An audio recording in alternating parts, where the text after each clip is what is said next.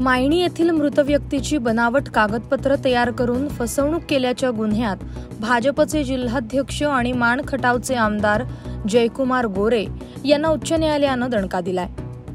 उच्च न्यायालयात आज झालेल्या सुनावणीमध्ये जयकुमार गोरे यांना अंतरिम दिलासा देण्यास नकार दिलाय. तसंच याचिकाकर्त्याला संबंधित कागदपत्र सादर करण्याचे निर्देश देत सुनावणी सतरा मे पर्यंत तहकूब केली आहे त्यामुळे आता आमदार गोरे यांना अटक होण्याची शक्यता वर्तवली जाते उच्च न्यायालयात राज्य सरकारनं आमदार गोरे यांच्या जामिनाला जोरदार विरोध केला. यापूर्वी आमदार गोरे यांचा वडूज सत्र न्यायालयानं देखील अटकपूर्व जामिनासाठी अर्ज फेटाळला आहे.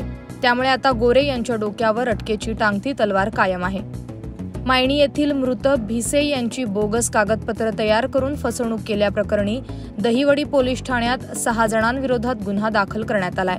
यात जयकुमार गोरे दत्तात्रय कोंडीबा घुटुगडे महेश पोपट बोराडे आणि अज्ञात दोघांचा समावेश आहे.